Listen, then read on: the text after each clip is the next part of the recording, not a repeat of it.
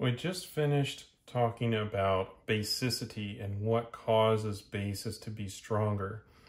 And I've also mentioned that there's such a thing as a super acid. Well, then let's consider super bases. So a super base we will define is having a gas phase proton affinity greater than a thousand kilojoules per mole.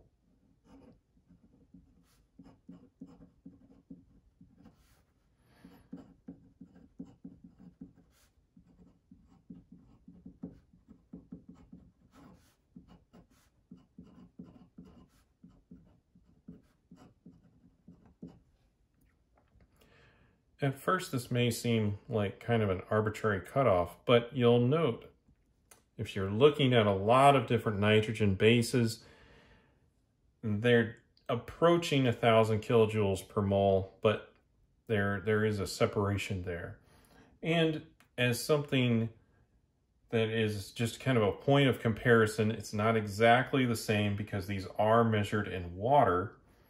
Um, we should note that lithium hydroxide in water, so not gas phase, but in water, uh, has a proton affinity of 1,000 kilojoules per mole.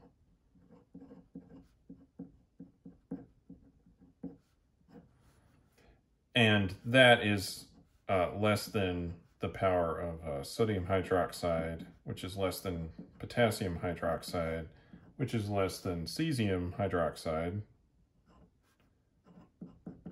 And that one is uh, 1,118 kilojoules per mole.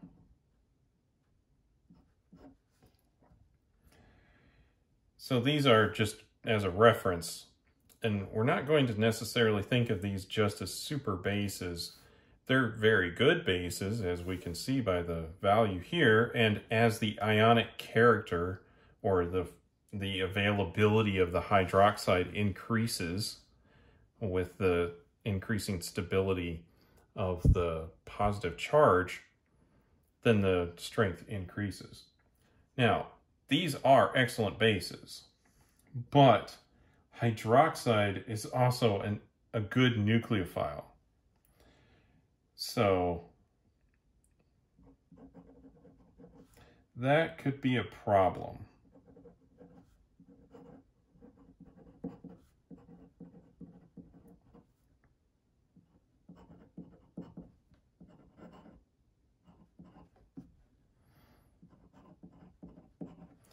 And that really depends on what kind of reaction we're doing.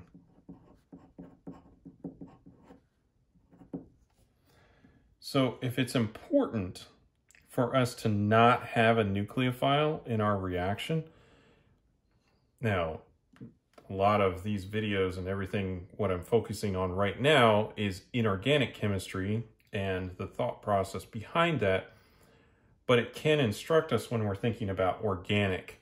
And we are going to look at a lot of bases that organic chemists tend to use in this particular video. So if we're thinking about something like trying to do an elimination reaction, then we'd rather skew this towards not using a nucleophile, which would compete with the elimination reaction, substitution then. So instead of that, we could use a different base. We could use something that's bulkier and something that's just not so good as a nucleophile. And one of the common ones that is also a super base is uh, called 1,8-diaza bicyclo 5.4.0 undec 7-ene, which is quite a mouthful. So naturally we've abbreviated it to uh, just DBU. And Instead of writing out that whole name, I'm just going to draw the structure.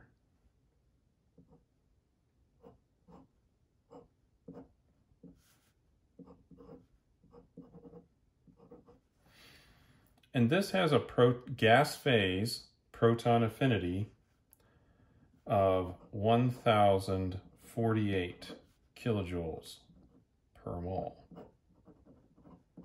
So it fits our definition of super base. And indeed, this is a workhorse. It gets used a lot in organic synthesis. Anytime you want um, a very strong base that will not act as a nucleophile, DBU is an excellent choice. Another one that gets used a lot is 1,8-bis dimethylamino naphthalene. So again, I'm going to draw that out instead of writing out the name.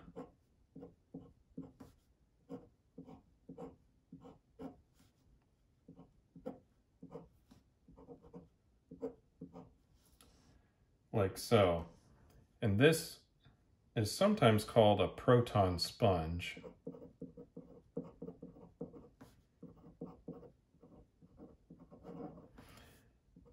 for its ability to soak up protons. Now, if I recall correctly, this isn't a particularly fast base, but it tends to really hold on to the uh, to the protons. And because the gas phase basicity is greater than 1000 at 1028, it also qualifies as a superbase.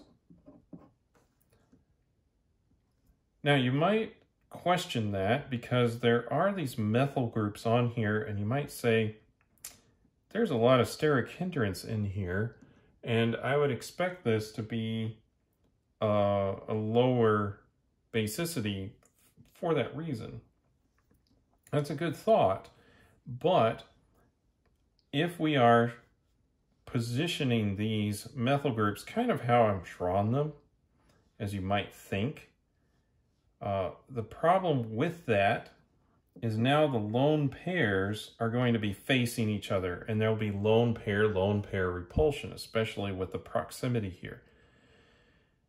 So the preference is actually going to be to push these methyl groups in close to each other and free up the lone pair because the other lone pair is going to push it away. And because of that, the lone pairs are actually fairly available. And we get a lot of electron density being fed in from these methyl groups to increase the basicity of the nitrogens here.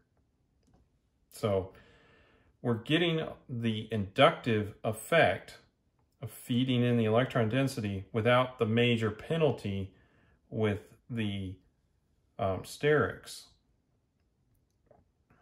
It's kind of an interesting property that happens there.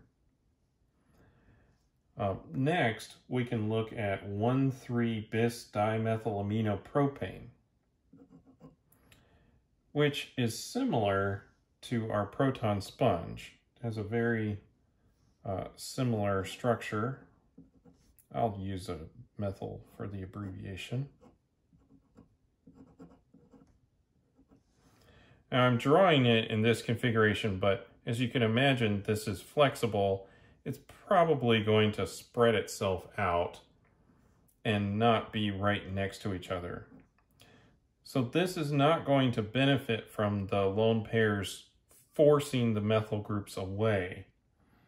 But it does benefit from the fact that this aryl group up here is less donating than the alkyl group down here. And so in this case, we get a little bit stronger basicity at 1035 kilojoules per mole. Now I should mention that there are other super bases. This is just a selection of them. Now I have one more to draw, and this one will take a little bit of time, but it's it's 111 tris 1 amino propyl methylamine. So here's the amine and there's the methyl group, and then we need to draw all of the three one amino propyl groups. So let's see here, one, two, three, and then the nitrogen. And then we've got to do this again. One,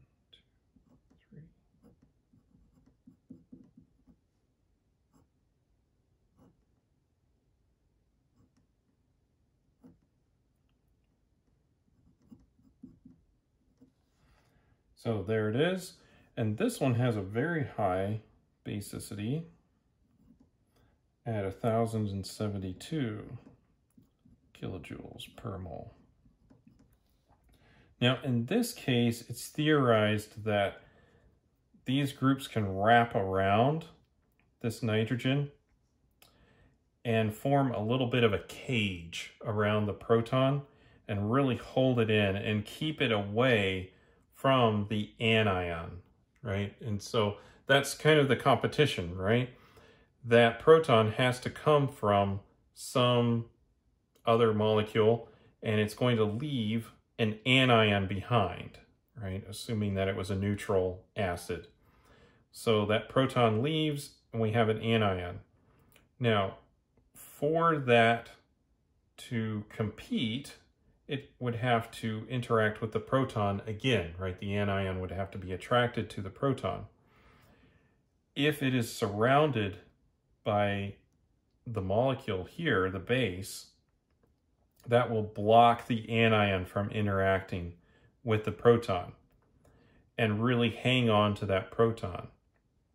Now, the other thing that this has going for it is a lot of electron donation and not that much steric hindrance for where the nitrogens actually are.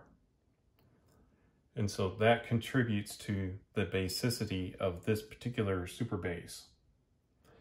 So there are different strategies for how to make a super base, and they're quite useful, especially when we want to remove a proton. However, we do not want nucleophilic character all of these examples here are not particularly good nucleophiles. In fact, most of them would be quite terrible. However, they are excellent at grabbing onto protons. This allows them to be used in a lot of different organic synthesis for the target of getting the basic uh, reactivity and not the nucleophilic reactivity.